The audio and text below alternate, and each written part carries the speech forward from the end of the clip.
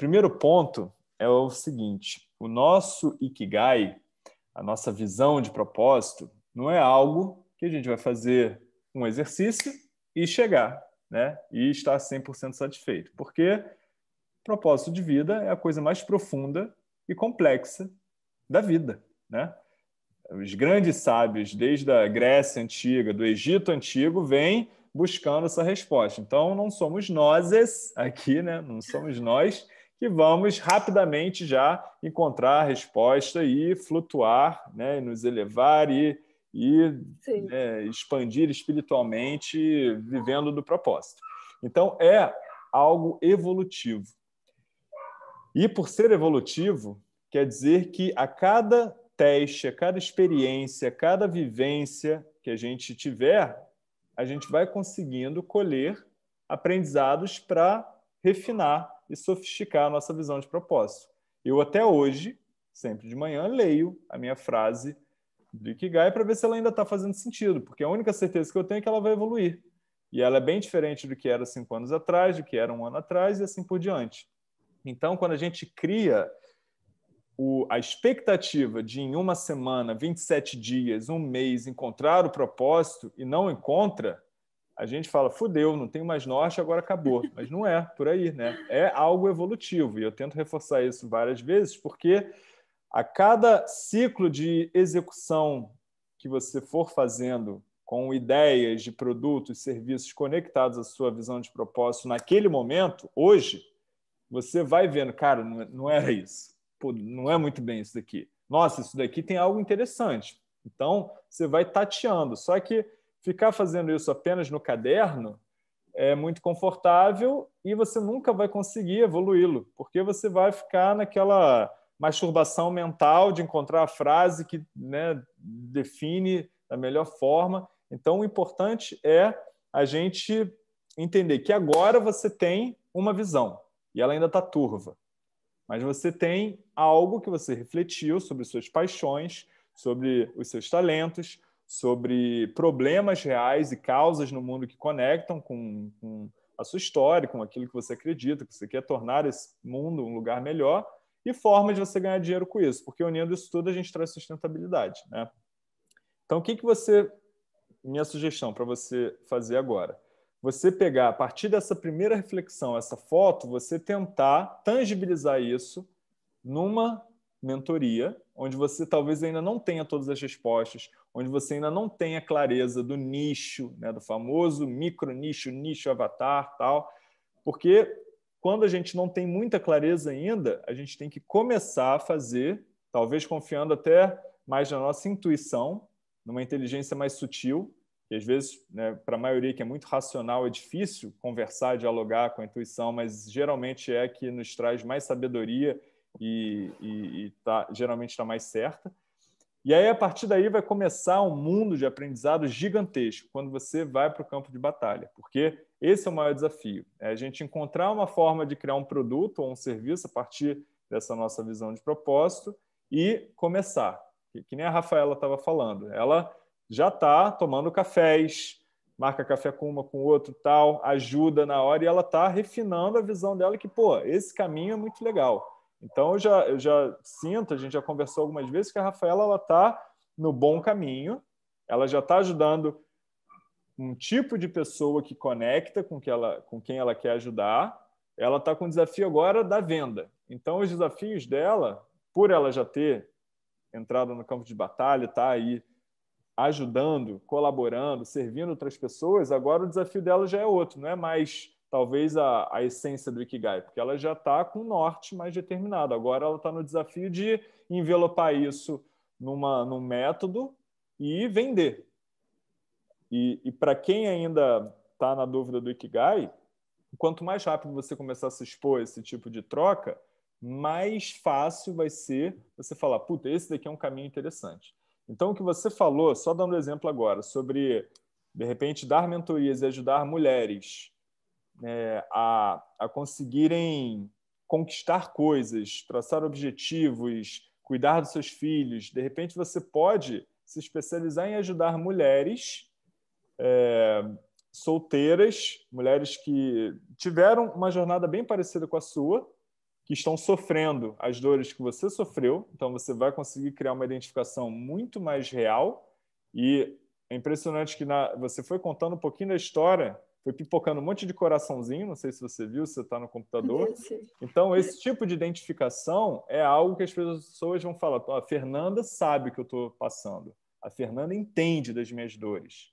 E a Fernanda ela conseguiu superar isso tudo, criar dois filhos, conseguiu pô, ter esse tipo de trabalho, esse outro tipo de trabalho. Pô, a Fernanda é multipotencial, ela entende também essa minha dor aqui de, de eu ter que me encaixar num lugar. A Fernanda não se encaixou, ela foi trocando, foi experimentando, foi se permitindo. E hoje a Fernanda, pô, ela é uma mulher segura, autônoma, empoderada, não depende de ninguém, e eu quero isso. Eu acho que a Fernanda pode me ajudar. E aí você não vai precisar criar nada muito espalhafatoso, porque é só você contar a sua vida e o que você fez. Por quê?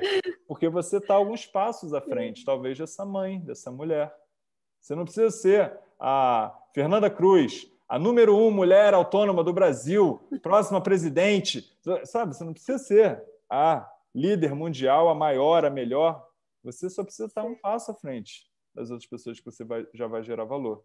E isso parece, pelas suas reações agora, pela forma que você foi escrevendo, não, não sei se, mas eu senti emoção na hora que você falou dessa história da é, é algo que eu imagino que se você ficar o dia inteiro ajudando mulheres, contando, entendendo o lado delas e buscando soluções, como seus quatro irmãos falaram, que você é muito bom em ajudar pessoas a, a conquistar coisas, resolver problemas, tal. Imagina você viver o dia inteiro trabalhando dessa forma? Você ia ficar feliz?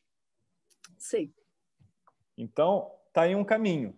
Ah, mas meu Ikigai ainda frase. Tá... Esquece, pausa, pausa esse módulo, segue em frente com, com os outros exercícios, ferramentas tal, e volta. Por isso vocês têm acesso a cinco anos. Eu ia dar acesso vitalício, mas legalmente é difícil falar isso. Mas é, vocês podem fazer, refazer e devem quantas vezes vocês quiserem e puderem, porque tudo isso vai ser evolutivo. A criação de um produto vai ser evolutivo, nunca para. Você só vai melhorar seu produto. Quando você tiver um produto muito forte, você vai ter agora uma esteira de produtos. Produtos né, para você vender depois no upsell, produtos para vender no downsell, né, e depois venda. Você nunca vai parar, porque você sempre vai melhorar a sua estratégia de venda. Então, tudo aqui é evolutivo, mas você precisa dar os próximos passos. Né? Por isso que eu falo muito do sem pressa, sem pausa, porque assim a gente está sempre testando, experimentando, construindo, conquistando, melhorando, otimizando, ajustando. Mas se a gente ficar apenas na, na reflexão teórica, se a gente só ficar no nível do, ah, dos exercícios, tal, que é muito confortável, que talvez seja né, o, o desafio para muitas pessoas quando começa a ver ferramentas, tal, é porque quando a gente vai para a execução, a gente começa a bater de frente a um milhão de, de coisas que estão fora da nossa zona de conforto, que são desconhecidas. Mas a gente só evolui e expande e cresce quando a gente vai aumentando o diâmetro da nossa zona de conforto, né? Quando a gente vai fazer novas coisas, assim como você fez com a sua vida. Você, antes, lá, garotinha, quando você começou a dar aula, você se imaginava criando dois filhos de forma independente, dando certo é, e tendo sucesso diante de tudo que você ouvia dos seus pais, dos seus avós e da sociedade, falando que né, as mulheres precisam né, cuidar da casa e o homem vai prover toda sabe? a sociedade ela nos, nos, nos encaixota e nos faz pensar e agir de uma forma que vai criando um monte de crença e verdade lá no nosso subconsciente que fica difícil a gente bater de frente contra isso tudo. E, e você foi lá e fez. Então, você tem muita coisa aí para passar para outras pessoas. Se eu fosse você, exploraria esse, esse nicho, esse tipo de. esse grupo de pessoas que são mulheres, mães, é, é, que se separaram. Isso no Brasil você já tem aí centenas de milhares, se não for milhão então, é infinito. Qualquer micro nicho no Brasil é muita gente, então pode arriscar para ser bem nichado, que não tem problema nenhum. Quanto mais específico você for no início, melhor, porque você vai conseguir gerar esse tipo de identificação mais rápido. E experimenta durante, se dá três meses. Olha para a sua página que você criou, olha para tudo que você criou até agora e faz essa nova roupagem. Falando das dores, faz aquele exercício do, do, do avatar que eu trago né, ali no módulo 3, se eu não me engano, com essa pessoa em mente. Você conhece uma mulher que você gostaria de ajudar dessa forma? Um nome? Uma amiga? Uma conhecida? Conheço. Qual é o nome dela? Conheço, tenho a Letícia, Letícia. que passa hoje pela mesma situação. Perfeito. Ela... Letícia, ela... sabe o que você vai fazer? Você vai tirar uma foto da Letícia, você vai imprimir essa foto e você vai botar do lado do seu computador. E tudo que você fizer pensar de, de estratégia, de, de é, criação de produto, de comunicação, né, copy, que a gente chama, tal, né, o texto que você vai criar, pensa que você está falando diretamente para Letícia. Um a um. Produto, for, é, conteúdo, tudo. Letícia. E aí você só não chama de Letícia, você tira o nome dela na hora de fazer aquilo, mas vai ser tudo comunicando para Letícia. E aí você se dá três meses, dois meses, um mês, o que for, para ver como que você vai avançar com, esse, com essa frente. E aí você vai parar depois desse período e vai analisar. E vai ver tudo o que aconteceu até então e vai ajustar. Aí você vai refinar a sua visão de propósito, vai ajustar o seu produto, vai e vai ajustando. E você vai continuar com esse ciclo assim, de evolução contínua, que eu tenho certeza que em poucos meses você já vai encontrar 100% o seu caminho mas você vai ter que testar, vai ter que conversar com pessoas, vai ter que encontrar novas Letícias para você ir refinando essa visão e melhorando o seu produto.